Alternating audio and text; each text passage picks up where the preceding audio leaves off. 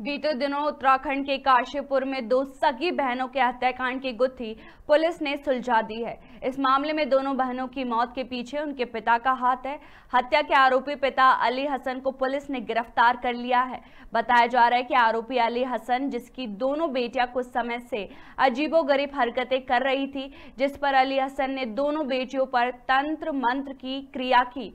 उनमें जब सुधार नहीं हुआ तो आरोपी ने दोनों बेटियों को यातनाएँ देना शुरू कर खान पान बंद कर दिया, जिसके चलते दोनों बहनों की मौत हो गई। पोस्टमार्टम में दोनों शवों पर गंभीर चोटों के निशान पाए गए। साथ ही अन्य परिजनों से पूछताछ कर पता चला, अंधविश्वास के चलते पिता ने ही हत्या की है। काशीपुर से अतुल तिवारी की रिपोर्ट।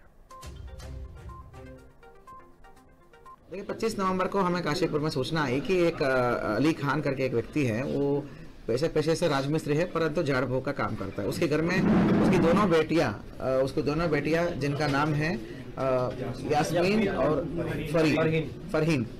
19 और 11 साल की यास्मीन और फरहीन का दोनों का लाश पड़ी हुई है, और वो सारे उसके यास्मीन और फरहीन की सभी भाइया और बहनें वहीं पड़े हुए हैं।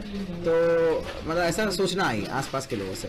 तत्काल थाना अध्यक्ष के अलावा सीओ एसपी सभी लोग गए थे हम लोग वहाँ पे मौके पे चले गए।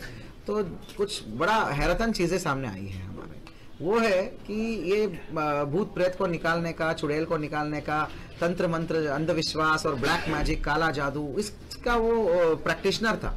ये खुद ही एक काम